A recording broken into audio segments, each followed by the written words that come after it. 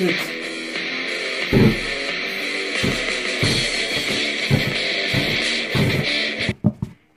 Hallo Freunde, heute mal ein kleines Review wieder.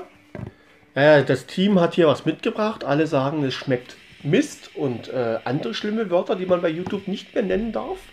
Wird ja alles zensiert heutzutage. Ähm, ja, und ich soll das jetzt Test trinken, weil ich bin dafür bekannt, dass mir eigentlich fast alles schmeckt. Meine Meinung dazu, äh, wenn das jetzt den Testtrinker nicht gefallen hätte, wäre es ja nicht auf den Markt gekommen. Also, eine schöne Dose, lecker, lecker. Sieht aus wie ein Energy Drink. Surf Chillet. Hey, hey, hey. Oder Chillt, sagt man ja. Chillt? Chillet? Ach, egal. So, aufgerissenes Ding. Schnupper, schnupper. Es riecht nach Zitrone, aber. So, weiter geht's. Wir wurden kurz gestört. Das heißt natürlich Lupina, ne? Habt ihr gesehen? Lupina? Wie Lupinie? Das ist eine Pflanze. Schmeckt nicht scheiße. Schmeckt ganz normal.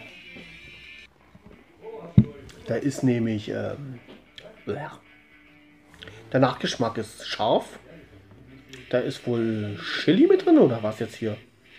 Wasser, Zucker, nicht alkoholisches Fermentat aus Wasser, Gerstenmalzextrakt. Also das Zeug punchen die also aus Bierresten zusammen. Ist natürlich dann günstig, ne? Würden sie sonst wahrscheinlich wegschmeißen. Und Ingwerextrakt. Na gut, Ingwer kann vielleicht auch scharf sein.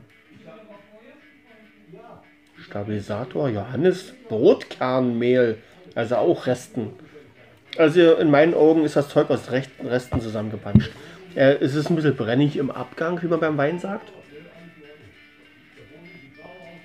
Aber ansonsten schmeckt es eigentlich nach Zitrone. Hm. Könnt ihr euch kaufen und reinkippen, egal. Tschüss, Freunde.